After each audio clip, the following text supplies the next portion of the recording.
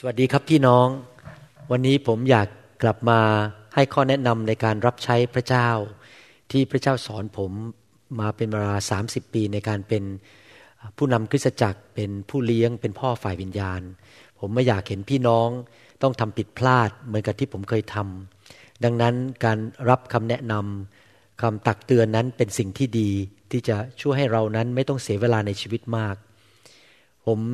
ทำสิ่งนี้ขึ้นมา เพราะว่าพระเจ้าทรงอยากให้พี่น้องได้เรียนรู้ภาคปฏิบัติในการรับใช้พระเจ้า เพื่อการรับใช้พระเจ้าจะเกิดผลนะครับ วันนี้ผมอยากจะพูดสักสองสาเรื่องถ้าเวลาพอนะครับ อยากจะอ่านหนังสือพระคัมภีร์ในหนังสือสุภาษิตบทที่ 11 ข้อที่ 14 กับ 25 ก่อน บอกว่าบางคนยิ่งจำหน่ายยิ่งมั่งคั่ง บางคนยิ่งยึดสิ่งที่ควรจำหน่ายไว้ ยิ่งขัดสนก็มี บุคคลที่ใจกว้างขวางย่อมได้รับความมั่งคั่ง บุคคลที่รดน้ำเขาเองจะรับการรดน้ำผมอยากจะหนุนใจผู้นำในคริสตจักร โดยเฉพาะผู้นำใหญ่ที่เริ่มคริสตจักร หรือเป็นศิษยพิบาล อาจารย์ หรือผู้ที่เริ่มคริสตจักรอาจจะยังไม่มีตำแหน่งก็ตาม ในเรื่องเกี่ยวกับหัวใจแห่งการให้นะครับ ผมสังเกตว่าชีวิตมนุษย์เนี่ยมีหัวใจอยู่สองประเภท คือหัวใจยาจก และหัวใจของพระเจ้าคือหัวใจเศรษฐี พระเจ้าของเราเนี่ยมีหัวใจเศรษฐี พระเจ้าให้ทุกอย่างแกเราเนี่ยเต็มที่เลย ให้ฝน ให้แสงแดด ให้ปลานานาชนิด กล้วยชนิดต่าง มีสัตว์ชนิดต่างๆ มีผลไม้ชนิดต่างๆ พระเจ้าของเราเป็นพระเจ้าที่มีใจเศรษฐี ใจกว้างขวาง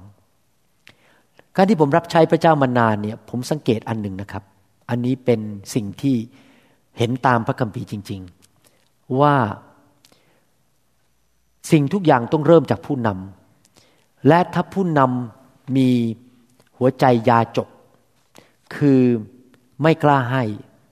ไม่กล้าลงทุนกับพระเจ้า อะไรอะไรก็ถูกถูกอะไรอะไรก็พยายามที่จะไม่อยากให้ใคร ผมสังเกตว่าคริสตจักรที่เป็นแบบนั้น หรือผู้นำที่เป็นแบบนั้น คริสตจักรมักจะไม่ค่อยไปไหนมาก เพราะว่าเขาอย่างที่พระคัมภีร์บอกว่า ยึดสิ่งไว้ ก็เลยยิ่งขัดสน ที่ขัดสนเพราะว่าเขายึดไว้ ถ้าท่านอยากเห็นคริสตจักรของท่านขยายเติบโต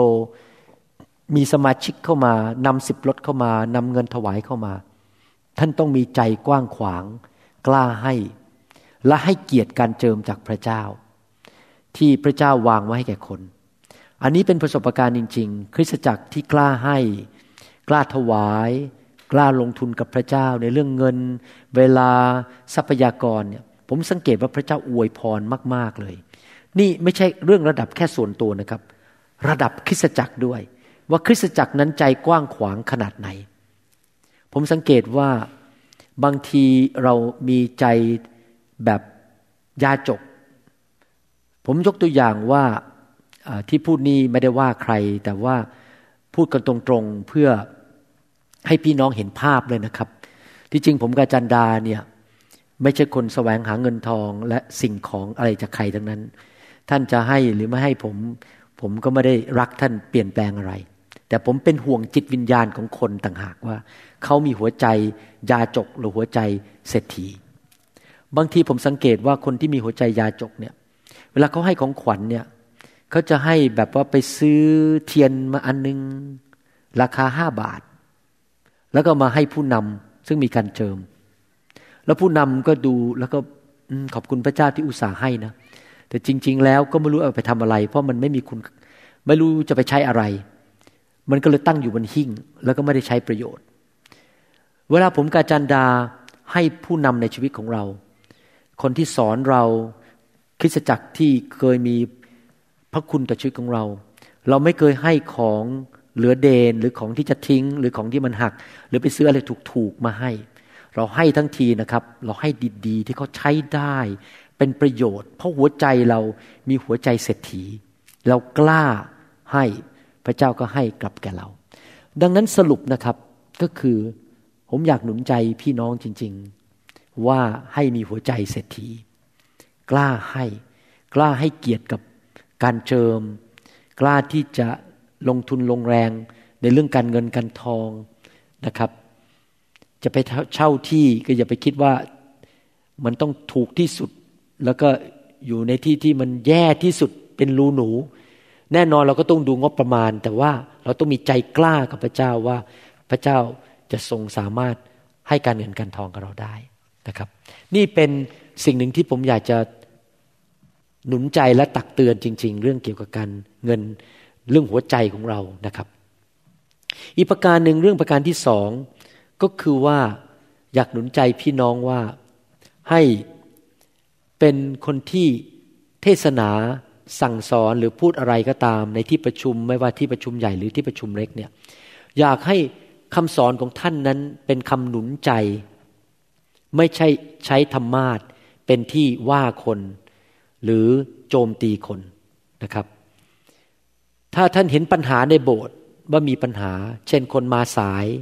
หรือว่าคนบางคนอาจจะมีเรื่องเนื้อหนังอย่าเด็ดขาด ที่จะเอาเรื่องของสิ่งเหล่านี้ขึ้นมาเจาะจงพูดบนธรรมาทเพราะว่าสมาชิกบางคน ตัวเขาเองอาจจะรู้ว่าท่านว่าเขา หรือสมาชิกคนอื่นอาจจะเริ่มมองหน้าคนคนนั้น แล้วก็บอกว่าดูซิสมน้ำหน้า ถูกอาจารย์ว่าแล้วบนธรรมาทการทำอย่างนั้นไม่ใช่เป็นลักษณะหรือหัวใจของพระเยซู พระเยซูไม่เคยประนามใคร ดังนั้นห้ามเด็ดขาดที่จะพูดจาประนาม ต่อว่าความอ่อนแอของสมาชิก ถ้าท่านอยากช่วยเขาไปพูดกับเขาส่วนตัว คุยกับเขาดีๆข้าวหน้ามา ให้ตรงเวลาได้ไหมคะเขาหน้าจะส่งเสียงในที่ประชุม อะไรอย่างนี้เป็นต้นนะครับ หรือว่าอาจจะเรียกประชุมกันเลยคุยกันส่วนตัวแต่ห้ามใช้ธรรมาทเป็นที่โจมตีหรือว่าคนโดยเฉพาะถ้าเรารู้ว่าปัญหานี้มันชัดเจนในโบสถ์ทุกคนเห็นหมดเนี่ย อย่าขึ้นธรรมาเด็ดขาด เพราะว่าคนที่เขาทาอยู่เขาจะอาย และคนอื่นก็จะเริ่มรู้สึกเหมือนกันว่าเอสอบอไม่รักครั้งครั้งหน้าถ้าเป็นทีชั้นตรงสายคงจะโดนเล่นงานโดนด่าบนธรรมาทเหมือนกัน มันก็จะสร้างวิญญาณและบรรยากาศที่คนจะด่ากันโจมตีกันในโบสถ์ต่อหน้าธรกำนัน มันก็จะทำกันทั้งโบสถ์เลย แล้วในที่สุดคนก็จะเสียขวัญกำลังใจนะครับ ดังนั้นอยากหนุนใจอย่าใช้ธรรมาทเวลาผม ผมยกตัวอย่างนะบางทีผมเห็นสมาชิกเขาไม่อยากให้วางมือเนี่ยเขาเดินออกไป ผมไม่เคยว่าเขาบนธรรมาทว่า มีพวกวิญญาณไม่ดี พวกนี้ไม่อยากให้วางมือ พวกนี้ต้องกลับใจ ผมไม่พูดหรอกครับ เพราะว่าพูดไปแล้วทำให้คนเขาเสียกำลังใจเปล่าๆผมจะหนุนใจดีกว่า แล้วหนุนใจเขาเข้ามา เราไม่ใช่กระแทก แดกดันเขาว่าเขาเพื่อดึงเขาเข้ามาด้วยการ ผลักเขาเราใช้การหนุนใจนั้นสองเรื่องนี้ผมอยากจะให้พี่น้องกลับไปคิดและกลับไปปรับปรุงนะครับ กล้าให้หัวใจเศรษฐี เพราะพระเจ้าเรารวย แน่นอนเราต้องดูงบประมาณ แต่เราต้องอย่าเป็นคนที่มีหัวใจยากจนซื้ออะไรก็ให้มันถูกที่สุดอะไรอย่างนี้เป็นต้น และประการที่สองก็คือว่า ห้ามใช้ธรรมาทเป็นที่แสดงอาการเนื้อหนัง โจมตี พระคัมภีร์พูดชัดเจนว่าไม่มีการประนามในพระเยซูคริสต์เราหนุนใจได้สอนได้นะครับ แล้วยังไงอยากให้พี่น้องเอาเรื่องนี้ไปปฏิบัตินะครับ แล้วก็หวังว่าพี่น้องคงเข้าใจว่าผมไม่มีอะไรส่วนตัวกับท่าน สิ่งเหล่านี้เป็นสิ่งที่พระเจ้าสอนผมกับจันดา มาเป็นเวลาหลายปีแล้ว ผมก็กลับใจหลายเรื่อง ก็อยากจะหนุนใจพี่น้องในเรื่องนี้นะครับ อยากให้ท่านเอาไปคิดพิจารณา ไปเคี้ยวเอื้อง ไปคิดดี ๆ เรื่องนี้แล้วปรับปรุงชีวิต ผมเชื่อว่าคริสตจักรของท่านกลุ่มของท่าน จะได้รับพระพรพระเจ้าจะนำคนมากมายเข้ามา พี่น้องจะเติบโตรักกันคริสตจักรจะเป็นเหมือนสวรรค์ เพราะว่าเริ่มจากตัวท่านนี่ยครับครับ ขอบคุณมากนะครับ ที่ใช้เวลาฟังคำแนะนำนี้จากผมนะครับ ผมเชื่อว่าพระเจ้าพูดกับท่านวันนี้ ขอพระเจ้าอวยพรพี่น้องนะครับ เกิดผลนะครับ มีรางวัลมากในสวรรค์ มีความเชื่อมากๆ และมีสายตาฝ่ายวิญญาณ พระเจ้าอวยพรครับสวัสดีครับ